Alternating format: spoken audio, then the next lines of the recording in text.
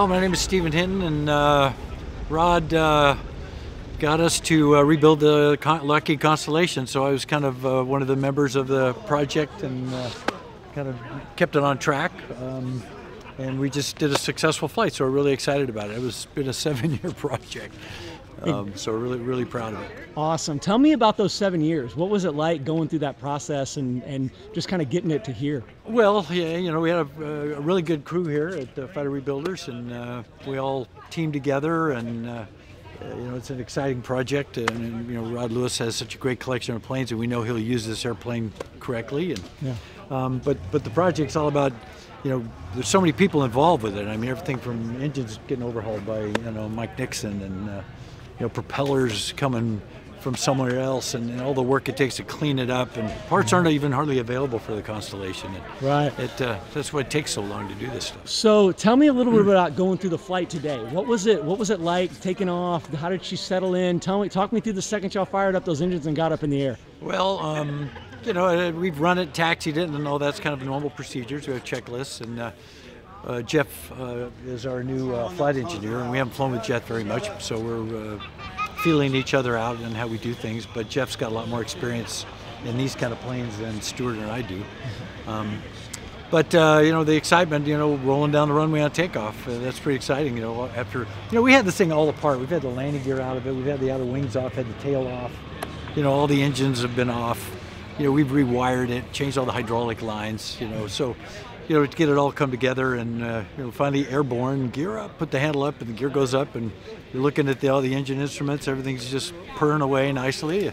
That's really exciting. You know, and well, I'm. I'm I'm riding co-pilot on this flight, and uh, so my job is uh, you know, crew coordination. You know, I'm I'm, uh, I'm holding the yoke while he's running the steering and the throttles, and then we transition. He grabs the yoke, and then I'm following with the throttles in a sense, you know, keeping an eye on what's going on. Um, and calling out speeds. And uh, Stuart's flown a lot of big four-engine airplanes before. I don't have a lot of four-engine experience, and he's he's the man for the job. Um, we're pretty light anyway. You know, we're like we're almost 50,000 pounds lighter than gross weight. You know, so, and you could see how it landed short and how it took off real short. But uh, you know, it's a uh, beautiful plane, and uh, here again, we want to thank uh, the foundation, uh, Rod's Foundation, for uh, giving us the opportunity to put together.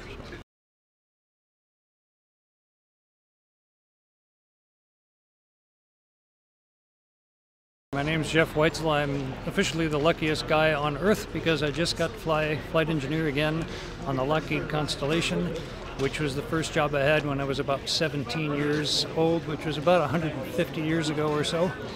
And uh, to be back in the Connie again is a real treat, and especially this example, of the airplane is stunning.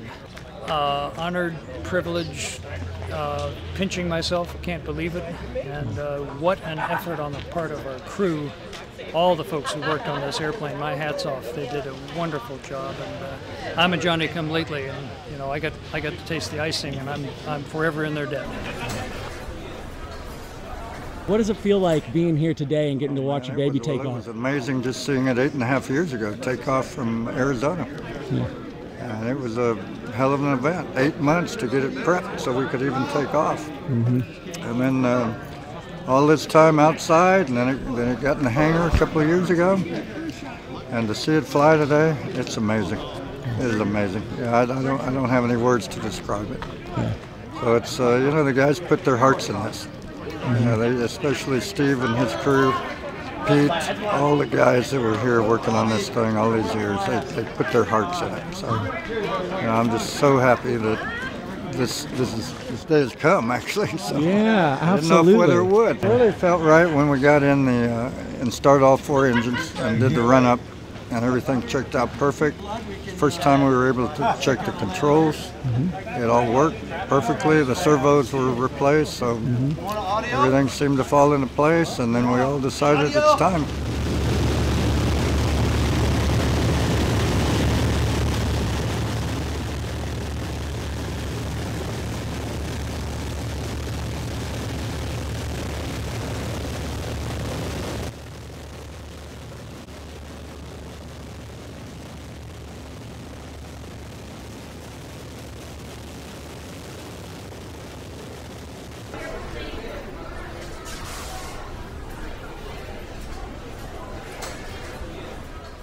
First General MacArthur, U.S. Air Force. know, so Yeah. that's where it started, and then of course Lockheed. Before mm-hmm. that, even. And I think I, I was I was really enamored with this airplane because of the history and then the, the condition it was in, and, and where we started with it. So talk to t- talk me through that. What what was the reason? Why why this? Why why Connie? You know, I think we we've done so many other aircraft. I've done one Mosquito, working on another Mosquito now with a partner, and yeah, we've done the B-25, the A-20. The A-20 was actually done here in Chino, and um, just wanted something unique. And I and I like one of a kind stuff, or one or two of a kind. You know, so this was rare. So we felt like, you know, let's just do something cool where we can all fly it and we can all get in with our families and, and enjoy a warbird. So that's kind of the that's kind of the thing. And I, I just wanted to do something different, and I wanted to have an aircraft that that really showed the big stuff mm-hmm. during World War II and the Korean War, especially, and all the way to the 60s. So this one does it. What to say? Now that it's all said and done, did it did it did it come to fruition the way that you anticipated it? Is it grander? Is it is it still coming It- together? It where you- actually looks better than I thought it would. Yeah, it actually looks better. Yeah, and we spent a lot of time with the paint job, the polish. Uh, they came to me with a budget for polishing, and I said, you know what, it's high as hell, but man, I want it polished. So I'm the one that they wanted to paint it. All the guys wanted to paint it, and I said, no. You know, I wanted an airplane like that one over there, but I couldn't polish the whole damn thing. But um, and, and you know, there's a lot of lot to this about honoring those who flew these airplanes, and honoring the guys who actually used them during the war uh, as transports. And then this aircraft has special history with NASA. Not only General MacArthur history. This was this was one of the uh, aircraft that was up in the air when Apollo's Apollo spacecraft were flying, and this provided the communications as they went around the the orbits. Mm. So this has a, a second life to it. It's very cool.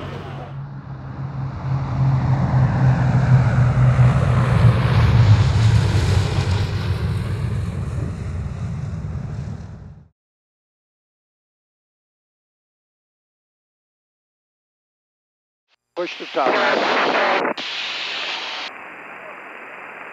Air Boss Constellation is holding at 3.5 to the uh, northeast. How far are you northeast, Constellation? Uh, we're out here Eight at miles. eight miles. Here we come. Here we come. Uh, you want us to make a flyby? Yeah, we're going to do one flyby and go land, and uh, what, you, wind's 190 at uh, Niner. Can you land on 36? Yeah. I will take 3-6. We're heading inbound. Looking like a 10 knot tailwind. It's a long runway. Yeah, don't go over 250 though, okay? But if y'all want to land the other way, I will. Yeah, you're flying this thing. Well, you can request it if you want in the wind. All, watch your mics, folks. Watch them. There you go. Super Connie, how to hear me now? Uh, Connie's on a long right base for a uh, 36. Head direct to the runway, sir. Direct to the runway. We are. Heading that way. Before we got it, we got something else. You want to pull some power off? Yep, there? I'm going to pull some power back. Let's pull back to 25 inches for now. So what are you going to do after this? Just turn to the downwind? I'm going to turn uh, to the right and stay away up, up from the uh, And uh. Connie, after this flyby, will be a right turn to the downwind for full stop. Right turn to the downwind, full stop. Runway 36. We're on base right now. Okay, all the Corsairs hold short of runway 36. We got the Super Connie inbound. Well, it ain't a super, but it's close. pretty super good. Super duper. Attention. All Corsairs hold short of the runway.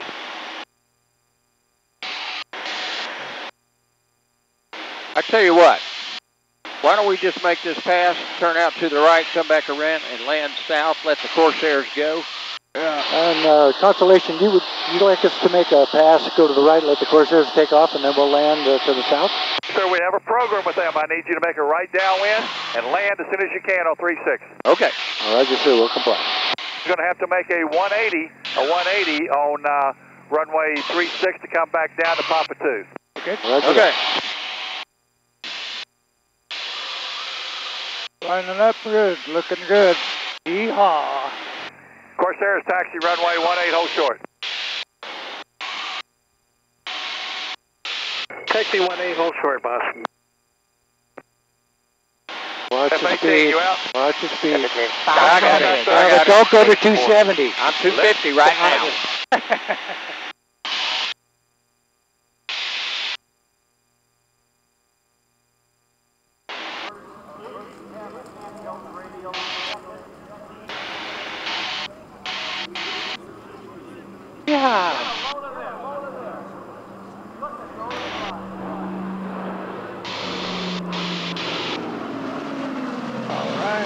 Nice pass. Turn, clear land, runway 36. Okay. Connie's clear to land 36. Thank you, sir. Thank you. Gentlemen, if you can tell me your emergency brake pressure, I'll do the Is rest. that you, Steve? Eight- 18. Yes, sir. 1800. Parking brakes are off. Parking brake Okay. is off. Let's back her down there to about uh, 25 inches. 25, I Less than that. Slow down. JT, I'm going to land a Super Connie on runway 36, 180 on uh, runway 18, back that to Papa 2. You're not going to slow down unless you pull fire back. Okay, let's go on back to 22. coming. It is because I'm going to throw the fucking gear out here. Super 140 Connie's going to land on runway 36, do a 180 on runway back down to Papa 2. Then 170 for flaps. Okay, sounds great. 145 for gear. Give me flaps. Did you want to do one? No, Steve's good at that. Okay. My fellow legacy guy. Same ballpark. Landing gear down. Gear handle is down.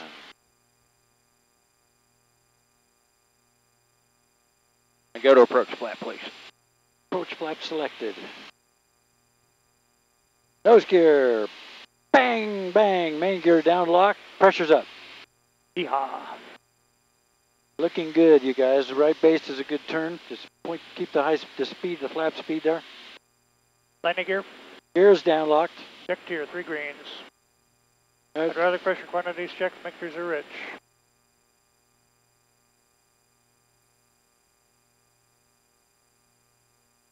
All right, I got the throttles. Your throttles. And one more time, an emergency brake hydraulic hydraulic pressure, Flaps to go. please. Pressure's Let's go full flap. Flap handle is full, and flaps are going down. We got plenty of drag. Base leg, you got it. Now, no pressure here, boss. You know, I mean, nobody's know. watching. You just sneak right in. I know. Right on the number. 500. Bark the dog. Beep, beep, beep, beep. Uh, j- I, I think I'll arm the reverse just in case something's weird. Okay, is that what you guys? Yep. Reverse is armed. 105 knots. 110 knots up here. You're looking good. Give me a little horsepower. What would you like? Oh, you're Give me about 25. You're You're, you're, you're you're 30 you're now. Okay, that's enough.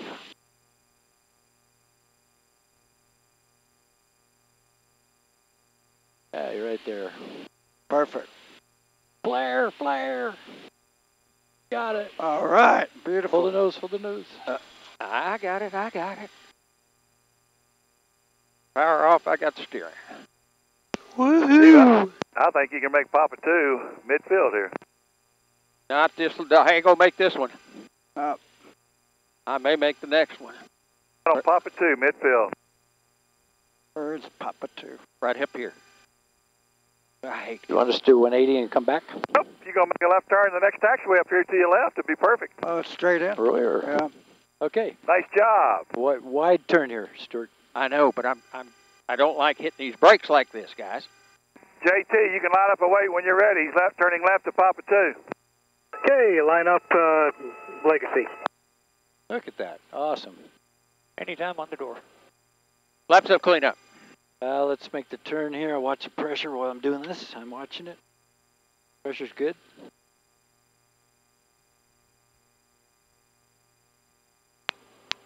Looking for ground support here. I'm looking for air. Yeah. Anytime on the door, JD. Corsairs, JT, you have the airspace, you have the runway. You call it. I'm looking there. he's, he's got it right here. Clear.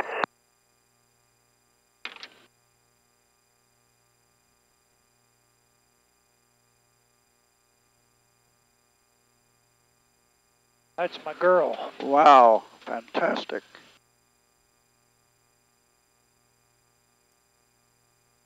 Man, you did a great job. We're all at it. Yeah. Are we putting the collared shirts on? Yeah, we can. Watch the props unwind too. Okay, we're stopped. I'm gonna hold the brakes till I get a chalk sign. Guys, Shutting down on your command. congratulations. Y'all did it. And shut them down. One and four. Congratulations, man. Thank you.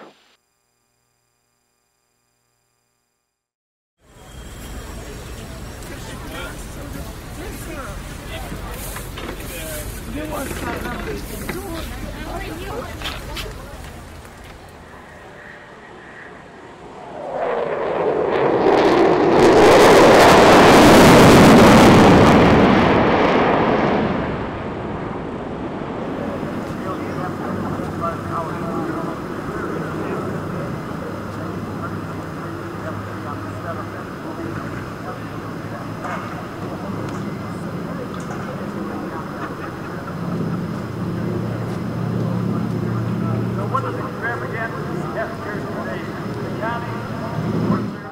everybody. We're here at Oshkosh 2023, and I'm standing in front of the Lockheed Constellation known as Bataan. It was a C-121A that had been uh, used as a uh, cargo plane for the Air Force originally, and then it was one of six that they modified as a VC-121. And this particular one, a very historic airplane, was General Douglas MacArthur's airplane. It became part of a pool of uh, VC-121s used with uh, generals and dignitaries. And you know, if you look at it now, and it's a gorgeous airplane, but it was like from outer space back in those days, if you can imagine. You know, it's it was as fast as any airplane flying in the 40s and long range. You know, it's got a 16, 17 hour range, uh, 250 miles an hour. It's it's quite an airplane. What does it take to get to Oshkosh? Well, I tell you, this whole project started with the Legends Foundation uh, eight years ago, and uh, the airplane hadn't flown in uh, 20 years, and uh, we did a complete restoration on the airframe, completely new engines, rewired, re went through the whole thing, and uh, we've just been flying it now maybe six weeks. Um, our trip to Oshkosh started out of uh, Chino, California. Yeah, we took off out of there, went six hours, 13 minutes nonstop to Madison, Wisconsin. And uh, we stopped there so we could stage ourselves for a Monday arrival. But we had a, uh, an oil leak on number three that uh, ended up costing us two cylinders to repair.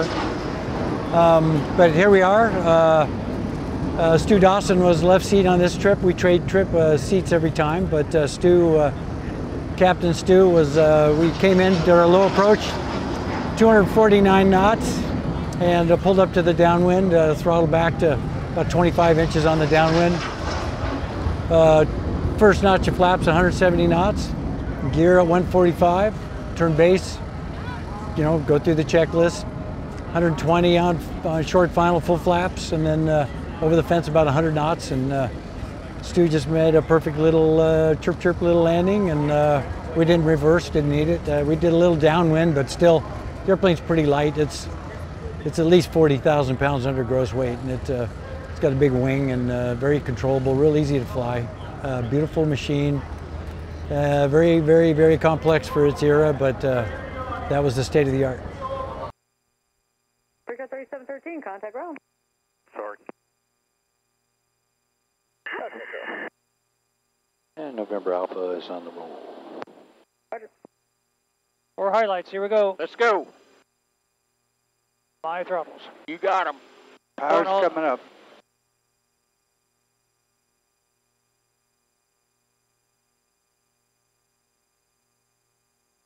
And don't, just don't worry about that one at all. Badger 1 traffic. Power set. Badger 1 All one set. Departure roll, wind 17011, runway 18, clear to land, all advised on the cable. Badger 1 traffic in sight, copy. Clear land runway 18. Roger, right, landing gear up. A little funny story. We were uh, at the end of the runway, cleared for takeoff. We shoved the throttles up to takeoff power and uh, kind of looked at each other. The thing really accelerated. We were airborne in 1,500 feet practically. Um, surprising, but uh, we were more, I think we were like 52,000 pounds lighter than gross weight. So it's actually uh, it climbs out very well and uh, it climbs out at 1,500 foot a minute at that weight. It just had a reduced climb power. So we were very surprised. You know, we're used to flying, you know, the big four-engine airplanes are usually big, heavy, lumbering, slow climbing things. Well, this thing at the weights we're flying is is pretty sporty. It's, it's fun to fly. Okay, you can see we just entered the big cargo door. This is airplane came, it was built like this, and uh, the interior right now is just something that was put together to accommodate the trip to Oshkosh. But uh, the plan is that uh, the foundation has designed a, an executive interior, and it'll be. Uh, uh, they have most of the parts, excuse me, made already uh, up in uh, Aero Metals, up in uh, Portland area, and uh, it'll be a very plush environment here. You know, be leather and conference room up ahead. Yeah, this, what you see here, like I say, was just just done by the foundation, just so it uh, you know could get us to Oshkosh. But uh, you can see the quality of uh, what's been built. Yeah, these are the back seats that are going back in. There'll be 24 total seats, 24 total places. There'll be a bar somewhere here in the conference room. I think the conference room is, is over here. I think it is partially into that. Oh, yeah. that's galley. Yeah. That's actually galley. That's going to be a restroom. There's a conference table here, and a bar back here, and then the rest is seated. Oh, of that quality right there. This is where it all happens up here. Up here, and then we got we got a lot of automation here for just safety issues. This this this is a camera system that will show gear, engines, everything we need to be looking at. Steve, you probably know more about it. Yeah, we have cameras around the outside of the plane, and we can select it here. And we also have the ability in the cockpit to select. Go ahead and jump. Now this is where it's all, it all happens. So you got a you got a captain, you got a pilot, you got a co-pilot, you got an engineer. And you can see the airplane's built for the engineer. He has most of the responsibility. Well, we work we work as a crew, and like I say, we trade legs. You know, uh, Stu and I both fly. But as a as a co-pilot, you know, we're watching what's going on and try to make sure we're crew coordinated. But the function I have, for instance, is I could pump the landing gear down if it needed to go down in emergency, or if we lose hydraulics, I could pump the brakes up, and just follow uh, in conversation.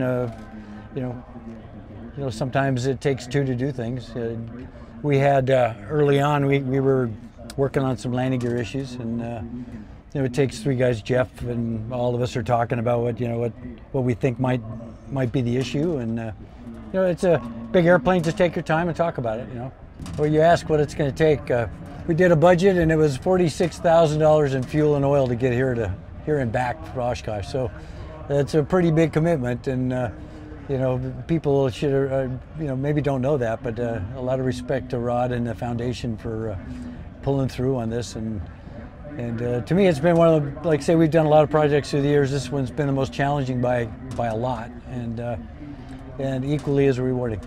And we got a lot of people involved. We had some structural engineers involved to figure out how to do things correctly, and you know, we hired a lot of outside help you know, they're just it's the it's massive, you know, a massive project, and uh, it was really fun when we started turning the switches on and running the hydraulics and running the engines, and like I say, yeah, quite a thrill running down the runway the first time too.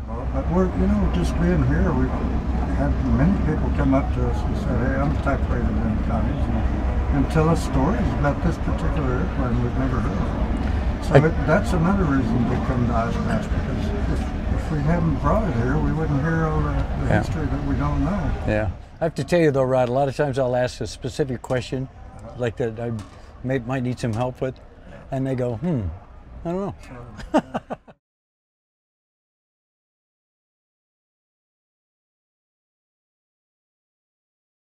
The foundation means my, my family, my kids especially, and, and, I have two pilots, two, two daughters that are women pilots that I, that I want to be able to continue this legacy. They're very interested, one especially that, that lives in San Antonio.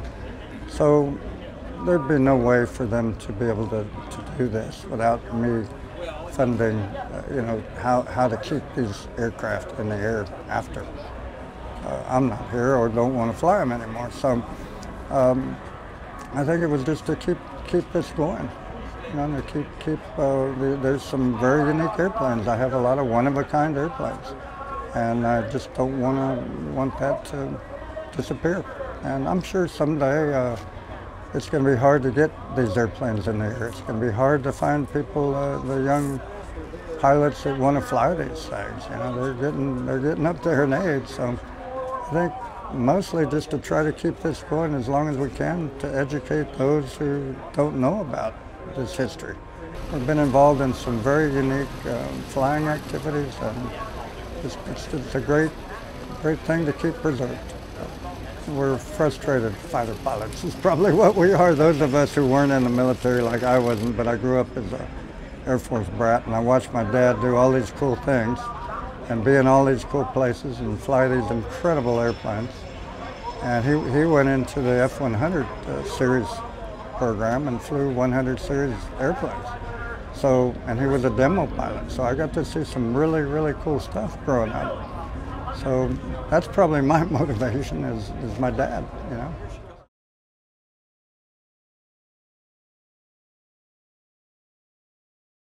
Well, you ask why do they always call on me? They don't always call on me. We've got uh, experience. You know, we've been doing this for a living. You know, I've been flying Warbirds since the 70s. This is my 50th year at Oshkosh, and uh, we've got an experienced crew and uh, a good relationship. We've done. This is our 43rd airplane that Fighter Rebuilders has done since 1980, and uh, we're really proud of it. And uh, it's a challenge. Everything's a challenge. We have a great relationship with our customers and uh, our friends and get a lot of help from the warbird industry and you know just being here in Oshkosh you know people can show off their wares here it's a great place to connect with people you know fighter rebuilders has been uh, my line of income for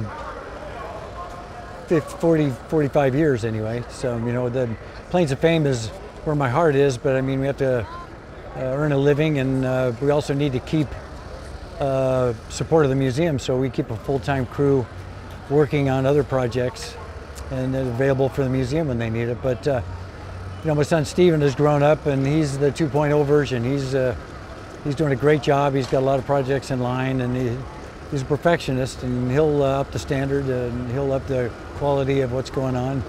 I have to admit, back in the 80s, this was a lot easier than it was in the 90s, and you know, which is a lot easier than it was in the 21s. But now we're, you know, it parts are running out. The airplanes are getting older, and uh, we have a new generation of uh, people, and we've also lost a huge number of uh, people that we had access to that uh, had this experience.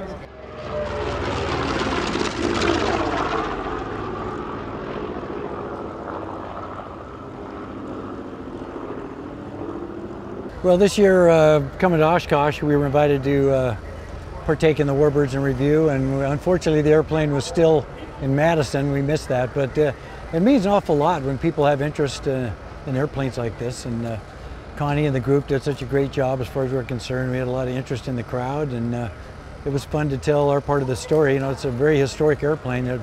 Imagine what kind of deals maybe got done in the back of this airplane. You know, it spent a lot of time in the out in the eastern part of the world there, and a lot of those people had never seen anything like this before. You know, something from the United States this big and shiny, it uh, made a big impression. Just kind of interesting. There's probably a lot of stories we don't know about that happened in this thing.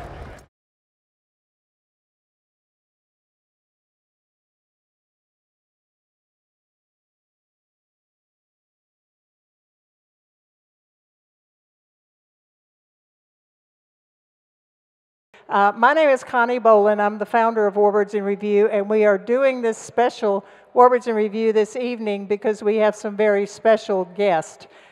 The Constellation uh, Bataan uh, is uh, a really exciting project, and we are very, very pleased that Rod Lewis and the team who have restored that airplane are bringing it here. Uh, it should be here, planned to be here tomorrow. So you can look forward to seeing that arrival. But this evening, we're going to have an opportunity to talk with Rod Lewis, Steve Hinton, and Stu Dawson, who are the key people in uh, this airplane's uh, restoration and flying it and uh, preserving uh, the history. Uh, tonight, also, I mentioned the uh, reception behind us. Breitling Watches um, have generously donated this beautiful watch uh, to Warbirds in Review. We will be uh, having a raffle for this watch, which uh, we operate Warbirds in Review strictly on donations. So this watch will be a big part of uh, supporting our program next year. And in supporting our program, I have to mention Scotts Miracle-Gro Company is our sustaining sponsor. Ron and Diane Fagen, who happen to be sitting over here right behind me, I saw them just a little earlier. Ron and Diane uh, provided us with this building that uh, allows us the production room and the green room. And now I'd like for you to take just a couple of minutes to see the really, really interesting and beautiful uh, advertisement uh, for Breitling and this watch that they have donated to us. So if you'll direct your attention to the Jumbotron.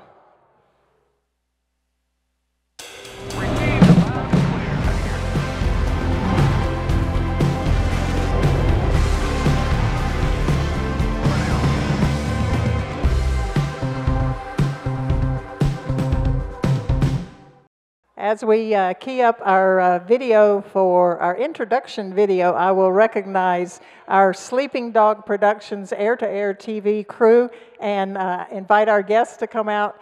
We have an extremely talented uh, production crew. Scott Guyat leads that team. Kyle Guyat does all the, the work taking care of everybody. Gentlemen, if you'd like to come out here, you can see uh, the video screen, the the Jumbotron here and uh, see the great work of uh, Scott Guyat as we watch the introduction for the Constellation Bataan.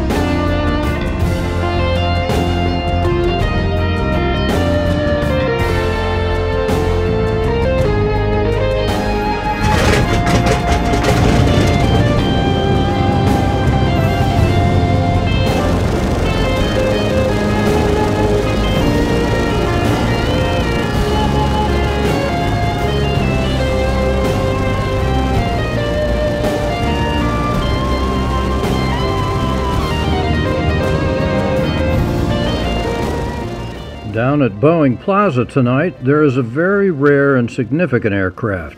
It is the Lockheed VC 121A Constellation, serial number 48613, known as Bataan. In 1948, the U.S. Air Force ordered 10 Lockheed Model L 749 aircraft, the graceful Constellation airliner.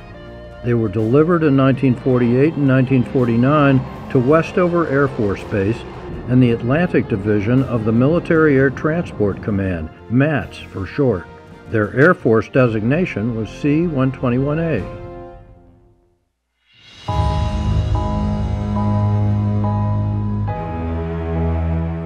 One of the first major international crises of the Cold War began on June 24, 1948, when the Soviets closed all road, rail, and canal access to the parts of Berlin, Germany that were controlled by the Western Allies. The Berlin blockade left the people of West Berlin without their normal supplies of food, fuel, medicines, and other necessities.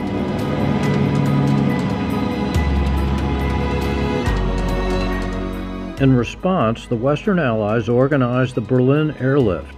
Round the clock flights from England and the United States brought essential supplies to the people of West Berlin. The Lockheed Constellations, with their speed and long range, were ideal for moving supplies from the U.S. to Britain and to Germany during the Berlin airlift.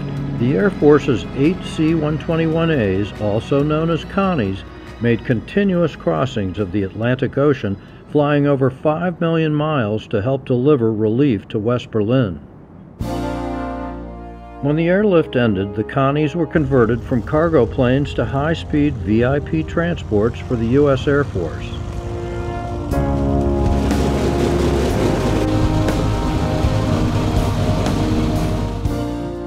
1950, during the Korean War, Connie number 613 became the flying command post of General Douglas MacArthur, who was at the time Supreme Commander of Allied powers in Korea.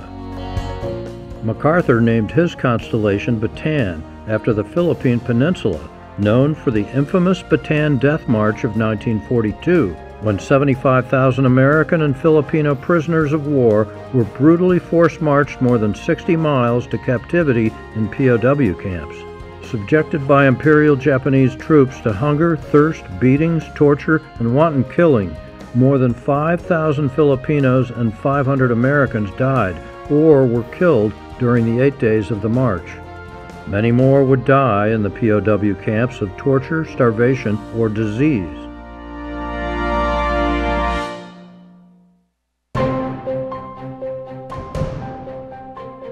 In Korea, General MacArthur made 17 flights over the battlefields in his Connie, and she carried him to Wake Island for a meeting with U.S. President Harry Truman.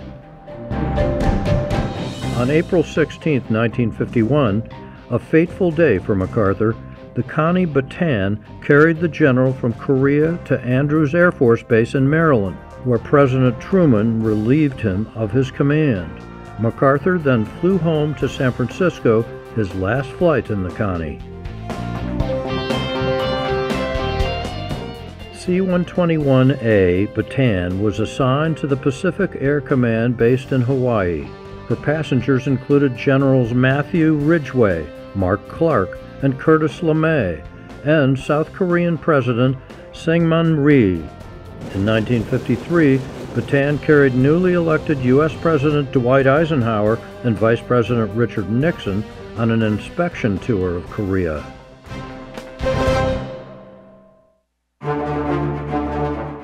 All C-121s, including Bataan, were removed from Air Force rolls in 1966 and sent to the boneyard at Davis Monthan Air Force Base in Tucson, Arizona. Several were stripped of military gear and sold to civilian operators in Canada for use as firebombers and bug sprayers.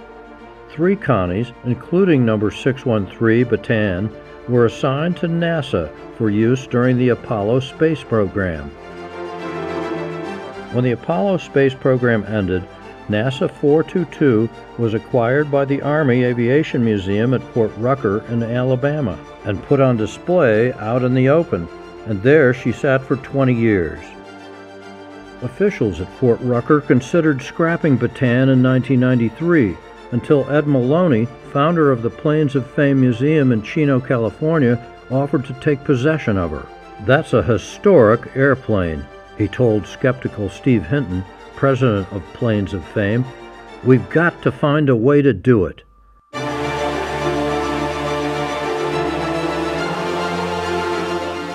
Planes of Fame traded a helicopter for the Connie, made her airworthy with help from Lockheed repainted her in General MacArthur's colors, and took her on the airshow circuit. But flying her was costly, and after one year on the circuit, Bataan was grounded once again, perhaps permanently.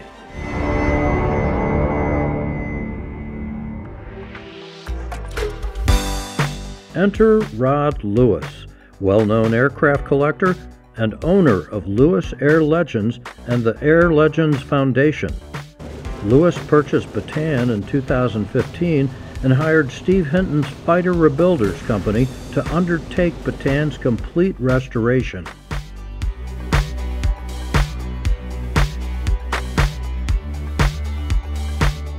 Finding parts wasn't easy, and few people knew anything about the 1950s era airliner. Making Bataan flyable again was, said Hinton, like restoring 10 or 15 Mustangs. But despite the difficulties, Bataan once again took to the air on June 20th of this year. just in time for the trip to Oshkosh. She proudly wears the colors of General MacArthur's transport and will soon be given an all new, historically correct interior. Lewis plans to fly Bataan to events around the U.S. and maybe Europe and beyond, so Bataan will be seen and appreciated by thousands thanks to Ed Maloney's vision to save her from scrappers and Rod Lewis's dream to bring this beautiful and historic airplane back to life.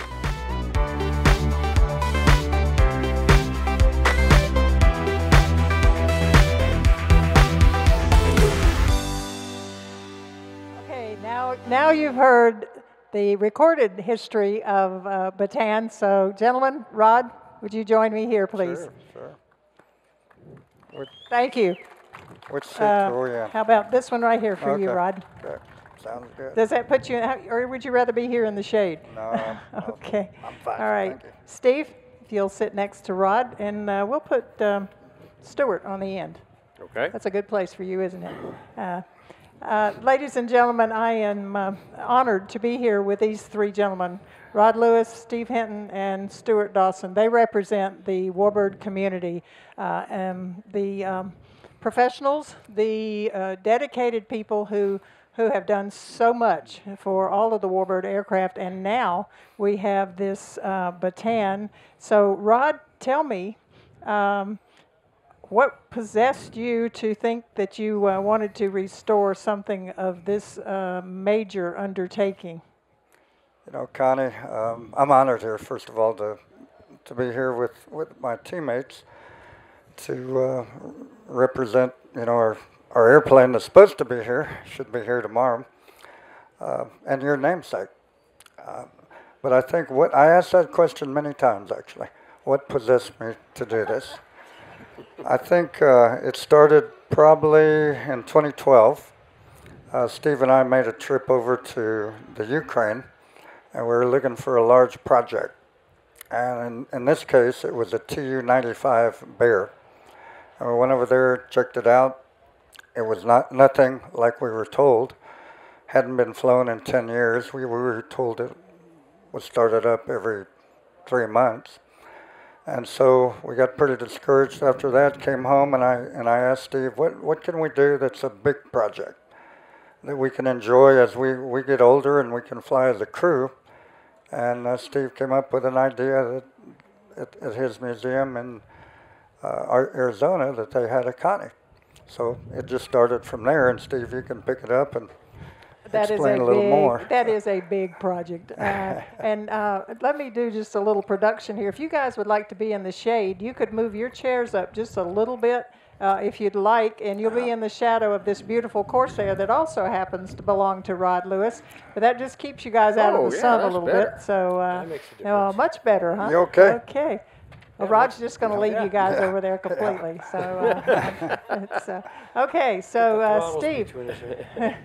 okay, so uh, Steve, tell us uh, about the project. The beginning with Ed Maloney, uh, with his vision, was amazing. Well, it, it's kind of funny story. You know, for the air race game, we're friends with uh, Wiley Sanders Group out of Troy, Alabama. There, and one day I got a phone call at the shop that uh, from his guys said, uh, you know what, Fort Rucker has this Constellation sitting there, and um, you know it's probably available if you guys want it. You know, you're a museum and all, and we know you. And, and uh, so I said, no, I don't think so. I mean, we we you know we're strapped, just taking care of what we have. But anyway, I uh, mentioned it to Ed Maloney the next day, and Ed just like he stood up and said, "Really? Said, we got to get that airplane tonight." Is like, uh, well, Ed, we can't afford to put that together. He says, "We'll find a way." So anyway, against, uh, I I wasn't you know too convincing to talk him out of it, but uh, God bless Ed for that, and uh, that's what we did, and we and it turned out it it, it kind of unfolded because as uh, we made a trade for it and we got it, and it just happened to be a retired vice president from Lockheed who lived uh, in Ontario, California, north of Chino, heard that we had it, and he was actually a crew chief on the airplane when MacArthur had it, and so he, through his connections at Lockheed, uh, organized uh, some restoration, and we, we flew it to Dothan. Uh, well, we sent our guys uh, there for about five or six months to get it flying. It hadn't flown in almost 20 years and uh, put a crew together and flew it over to Dothan, and Dothan uh, stripped all the NASA paint off of it and put in MacArthur's markings, and then um, then it went to Addison, Texas, and they put an interior replica of the MacArthur interior in it, and then came to Chino. Uh, so uh, we operated it for uh, several air shows, but it just was very evident we could either fly the Connie or fly about 10 or 12 of the other airplanes. You know, that's what it would take to really maintain it correctly. So we ended up taking it out to our museum out in Arizona and put it on display. You know, it's a desert's a good place for an airplane like that, and then right on the highway and all. And then, uh, like Rod had mentioned, uh, our conversations, and uh, we, you know, an aviation museum that we are, you know, we we don't have excess funds, but uh, Rod seemed kind of interested, and uh, uh, Rod went and looked at it, and we figured, well, it'd be worth our time, and Rod said he was willing to commit to it, and Rod is the hero in all this airplane, by the way. We did the work, but Rod was the one who st stuck it out. you imagine funding a restoration shop for eight years doing a Constellation, and it's it's you know we went through the whole airplane. We you know rewired it. Well, we took everything out of it first. You know, we had the outer wings off, we had the landing gear out of it, we had all the engines off, and and uh, we went through an eight-year process getting it all back together, and uh, real happy with where we are right now. So it uh, we're anxious to get it here so you can all see it. Well, it's, uh, it's certainly from the, the pictures, I know everyone is uh, really looking forward to seeing it because it, uh, it is beautiful. Uh, so, um, Stuart, you have the uh, pleasure of uh, flying it.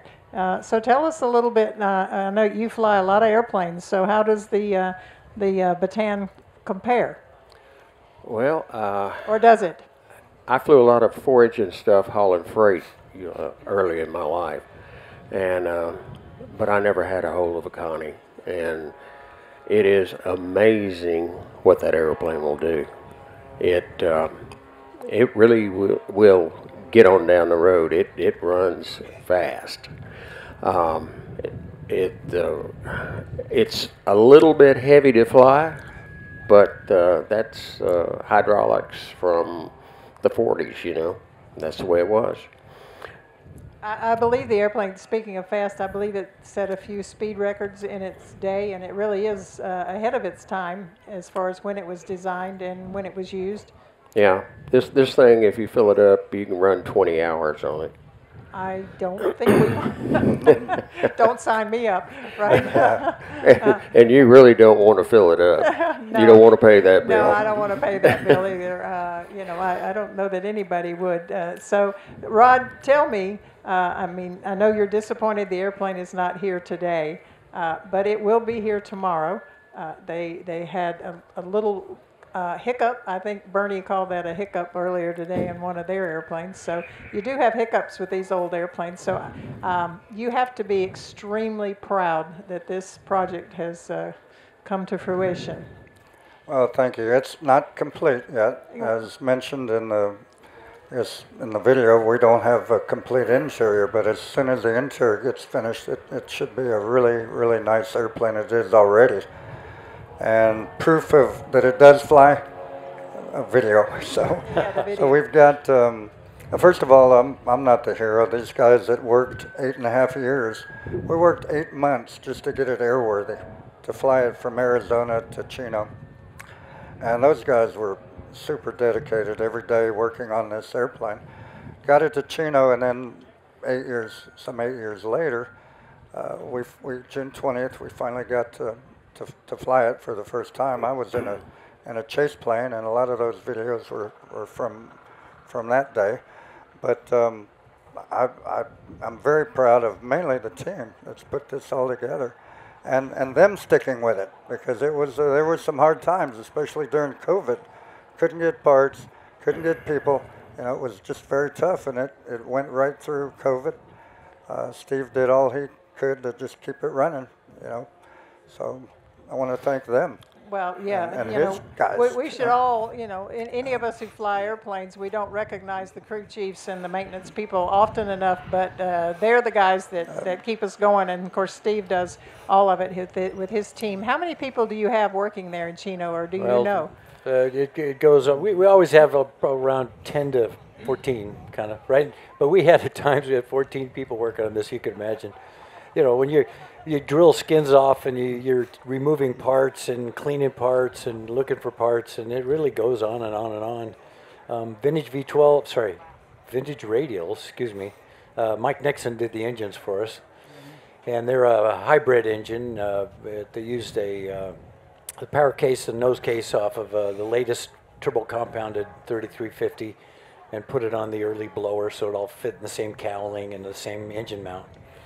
And, uh, you know, it just have a, a lot of experience through the years and we found ways to make it happen. We uh, modified the electrical system. You can imagine the 1940s, electro, 50s electrical system. It, uh, there were wires, I mean, a thousand pounds of wires going through that thing, you know, because it was pressurized and heated and air conditioned and of that era and we made it more like a warbird. We want to make it as simple as we could so we can maintain it. So it's uh, we're real proud of what we've done, and when you see it, you'll you'll you'll agree it's a really really nice detailed airplane. And uh, we another thing too, we got to match the rest of Rod's airplanes. You know, when you know Rod, every one of Rod's planes is a is a gem, and we just want to make sure that we keep that.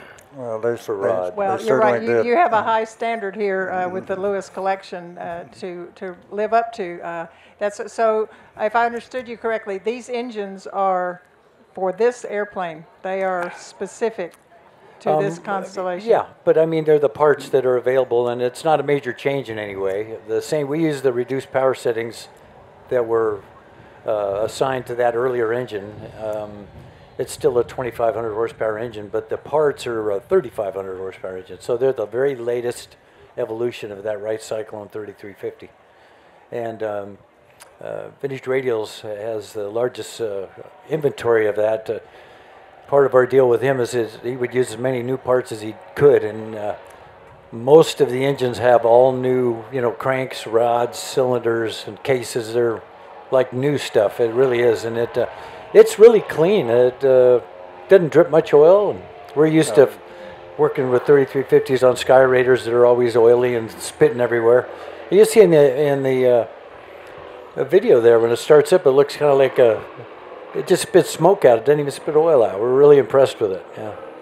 Well, that, that's that's cool. As you say, radials, if it has any oil in it, you're going to see some of that oil Yeah, it's coming got out. 50 Some- gallon You oil better tanks. see some out. It Better see something it- come it- out. It better, yes. Uh, Okay, Stu, tell us, uh, again, your impression of uh, the engines, the operation of the airplane. Uh, um, So what's different uh, about operating this airplane, say, than uh, a a single-engine airplane with this basic same engine?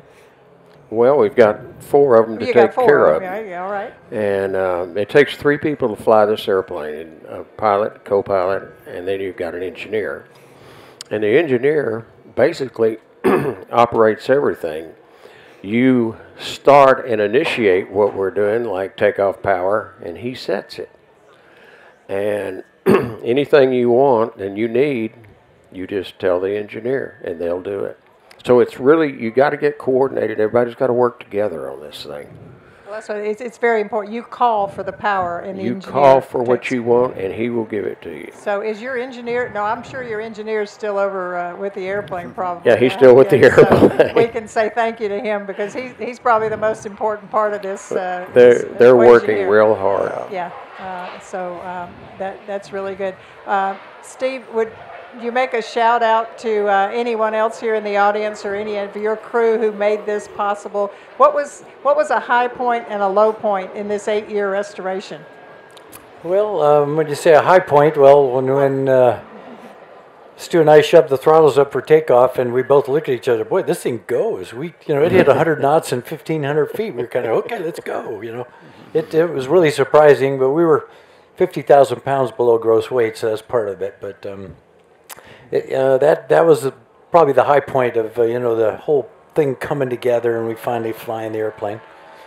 And like Rod said, the low point during the COVID years, uh, you know, everybody's struggling, and and uh, uh, you know, there was we were down about it, but uh, we we all stuck with it, and but it, it- we had so much enthusiasm with the, with the people that we were doing business with. You know, everybody's excited about being involved with the constellation. So.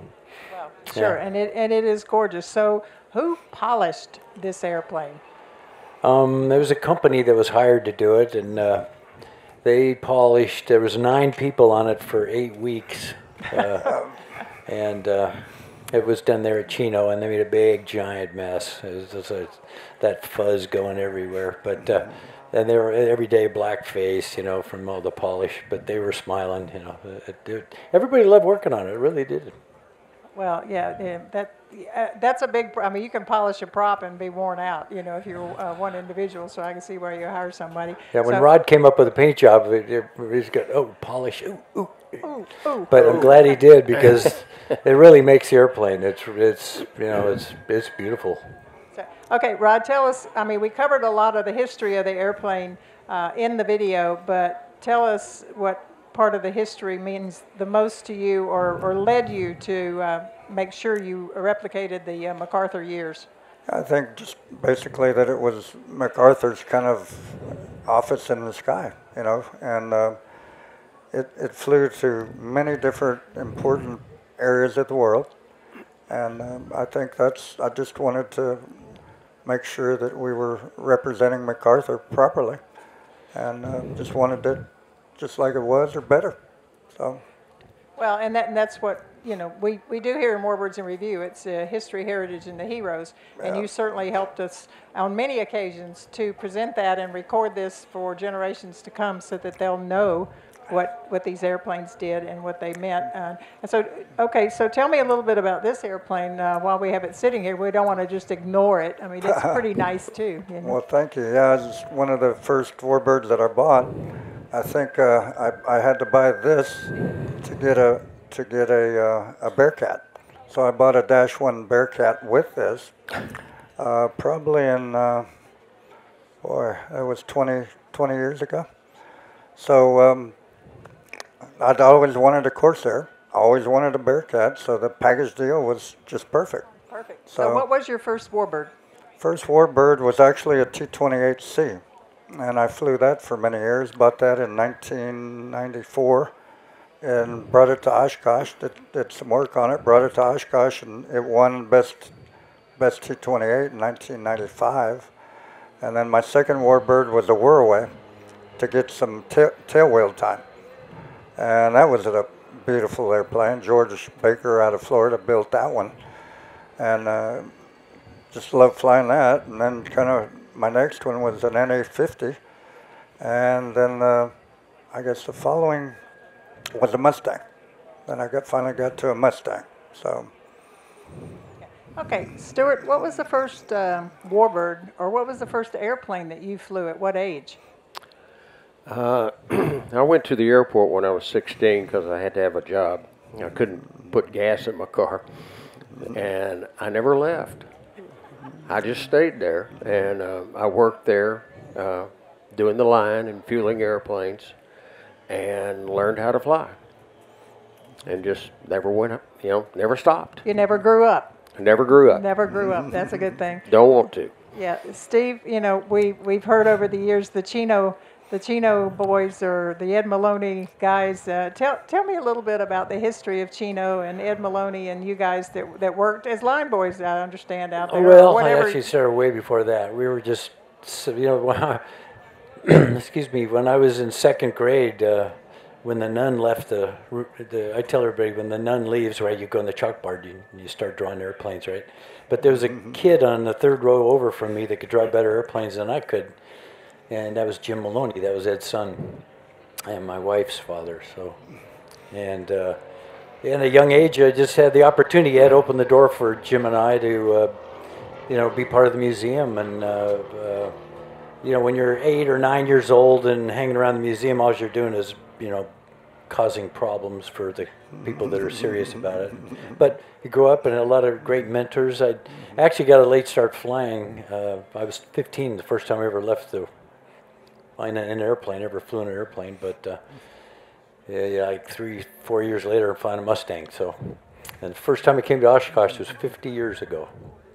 Wow. Yeah, I brought uh, P-51 here, Leroy Penhalow's Mustang, and then Jim was flying the museum's Hellcat. So. Oh, let me, no, I'm not going to count. 73, 1973. 1960. Well, you're yeah. That's uh, that's pretty impressive. And you've been here most a lot of a lot yeah, of the probably years. majority of the times, yeah. Yeah, yeah, majority of the times. Well, First time I ever got paid to fly an airplane, I got flying an F-86 for Bob Hoover in 1974. I brought an F-86er. Yeah, that white one with the red stripe. If you ever see an old picture with a with a kid that uh, working on it, that was me.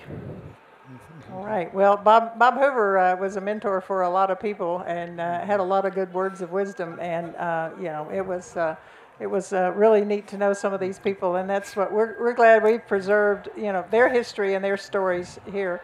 And uh, now we carry on with the airplanes. And uh, tomorrow we're going to you have see a lot of the Corsairs out here. I asked Rod earlier. Uh, I don't know. The question was kind of like, why why did you why is the Corsair here? And he said, because you asked me to bring it. You know. So okay. So, uh, what can we look for next year, Rod? Uh, I don't know how you top a constellation. Well, next though. year, next year we'll have a full-blown completed Connie. First of Oh, all, yeah, with interior. yeah, with an interior in it, with uh, 24 seats actually. So um, I don't know. Depends on what you're doing next year and what you need. That's what I asked for. I have to be careful what you right. ask for here. Uh, okay, so um, we're, this is going to be a, a shorter than normal uh, Warbirds Review because it is the afternoon, and uh, we're, they're going to start the night show here in uh, just a little little while. But uh, would you guys be open to offering it out for questions if we have anybody uh, who Sure. uh, has a question out there? Uh, Sure. We can uh, we take this. I don't know if that I have my mic handlers yet, but maybe uh, maybe if you raise your hand, I can walk over and uh, there you go, a close one. That's good. okay. Is there a time for it to arrive tomorrow? Is there a time for it to arrive tomorrow? Hopefully, it's going to be in the morning. We're waiting and we're coordinating this with uh, the people who, where the aircraft is now, but it's up, and um, we're going to get over there as quick as we can to get it back here. Okay, this gentleman. I'm a young warbird buff. I love it. And how do you recommend a young person get into warbirds? Steve, you're probably the one. You got to make yourself available, and uh, okay, you start at the bottom. I mean, you meet people and uh, offer to help, and you know, find somebody you're comfortable with, some group you're comfortable with. It's uh, yeah, there's a lot of great people right here in this audience too. You could probably uh, make a nuisance of yourself and get in somehow. Okay. Mike live. Is- Yes, I was going to ask that in the movie The Aviator, they happened to have the Connie that, and they were talking about having the berths. And so I wanted to know, is it going to be buttons or snaps? Don't know. I don't know. Yeah, and, and while we're waiting for the next uh, question, I, I think we recognize Steve. Uh, in the morning, we're going to have uh, Adam Makos here for uh, devotion uh, with the Corsairs, and Steve had a lot to do with the uh, devotion movie. Uh, tell us, uh, you know, we, are, are you planning a movie with a constellation with the Bataan, you think? Or uh, You have to- let's that's write a script, huh? yeah, yeah. Maybe No, we devotion. should. Sorry. Maybe we should. Yeah, maybe we should. Let's do it. Hey, you haven't done that yet, have you? Doing No, movies? no, hey, that's- that's not for me. Yeah. no, Devotion is a great project. You know, we got a phone call and uh, Fred Smith from FedEx wanted to come out and talk about Devotion with his two daughters. They have a production company called Black Label, and so uh, Fred shows up with his two daughters. I mean, they're regular company, but anyway. Uh, uh, he wanted to talk about doing this movie. He says it's a great book, and my wife Karen had read the book, and she says she was so excited about it because you know, it's a best-selling book, and you know, it's a great story. Um, funny part, uh, we talked a little bit in the office, and uh, and then started. Uh, I took Fred and his uh, the people for a tour, and I went to the first our first hangar and talked about the airplanes. And uh, Fred Fred Smith, everybody knows who he is, right? FedEx. He's the fellow that started FedEx. Anyway, he looked out there, and we have an OV1 in the corner outside. Hey, oh, I used to work on those things. Anyway, for the next 45 minutes, he gave the tour at the museum. He knew every airplane we had. I, I couldn't believe it. He was just talk, talk, talk, talk. Quite a personality. But a year later, um, Kevin LaRosa Jr., who you probably met, uh, um, who's a, uh, a young uh, aerial director now and an outstanding person and very accomplished uh, aviator as well. You know, he was assigned as aerial coordinator on the show, and so we sat down and figured out uh, you know, first of all, what's the budget? You know, uh, that, you know, it could go on and on. Yeah, you start with uh, several people that are here. We've even talked to them about using our airplanes, but then of course they narrow it down. But we ended up with uh, three Corsairs that we used for the whole show. Uh, we started in Wenatchee, Washington, Korea. Uh, did a lot of flying there. We were we were there um, at the airport for Wenatchee. I think we were there for about five weeks. I think. Um, you know, some days it was snowing, couldn't do it. Some days we, you know, it was a nice day, or we just bared down and did it. And we had the Corsairs and um, had a Skyraider from Erickson. So we had uh, Erickson's Corsair, Erickson Skyraider. We had our museum F4U1, uh, Dan Friedkin's F4U4, and then we brought our MiG-15 up there too to do some scenes. And then uh, from there we went to Pasco, Washington, and uh, did all that stuff. If you watch the movie around the the uh, river and the lake, uh, did it there. And then we took a break for a little while and uh, got the Bearcats and uh, Rod Sea Fury, and we went to Savannah with the Corsairs, and we based out of Savannah. And uh, we set up Rod Sea Fury. He has a two-place Sea Fury. Took the instrument panel out of the back and painted the tail blue, and we put the actors in the back of the Sea Fury, and uh, John Maloney and I did the Bearcat scenes. Uh, if you see the movie, some of the best Bearcat stuff you'll see. Anyway, we did so much stuff, and of course they only used five minutes, but we had a ball. You know, when you're doing a movie, you get to do stuff that's way, you know, kind of usually illegal, but you got a waiver to do. But buzzing the beach and looping and rolling and formation rolls and stuff like that. They used a few little things, but uh, it was. Uh, a real great experience, and uh, it was great uh, income for the museum, and uh, you know all our guys were working on it. It was a, a, great show, and Rod let us take some vacation away from the Connie for a couple months. That was that was a big deal, but. it was a good movie, and unfortunately, it has a really sad ending. But um, we're real proud of it. Well, I think we can all be proud of the uh, the integrity of uh, the uh, the people like you know Jesse Brown and Tom Hudner who, uh, who are uh, veterans and uh, fly for their buddies. That's what Bud Anderson says. You know, I was flying for my buddies, and uh, a lot of them didn't come home. So uh, to our veterans, we owe uh, a great debt, and to you guys. And and I wanted to bring that in for the interaction and the the connections of all the Warbird people. I see the uh, Warbird people out here who also operate these airplanes. It's a very close knit community, and um, you know everybody is Warbirds is a little different because we are here to showcase the airplanes in tribute to uh, all the people who served. And um, I, I, know we have a, a, oh, do I have to go to that question now? Mr. Roush has a question. I'm sorry, you're trumped. Mr. Roush.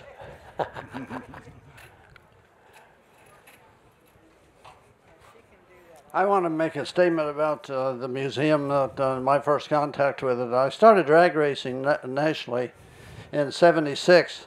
And the first time I uh, hit the West Coast, I was at Pomona. And uh, they had the, the, the Hellcat uh, on the display at the, at, the, at the grandstands, which was uh, piqued my interest.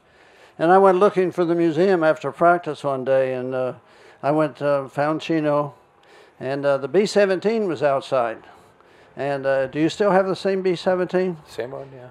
I uh, asked if I could go through it, and uh, the person I was talking to, uh, whose name I, I, I, never knew, said I could, but I had to leave a five dollar uh, uh, contribution for the museum. So I got my five dollars down, and uh, he opened up the B-17, and I went through it for about 30 minutes, and really enjoyed my first trip to, to California, my first visit to an aircraft museum and my first exposure to Chino. Thanks, guys. Uh, you Thank have a lot you. of people that come to your community first and uh, wind up in your museum. And uh, if you're still doing what you did in those days, you're making the hits with the people that uh, that are impressed by it. Thank you, Jack. Thank you. Thank, thanks, Jack.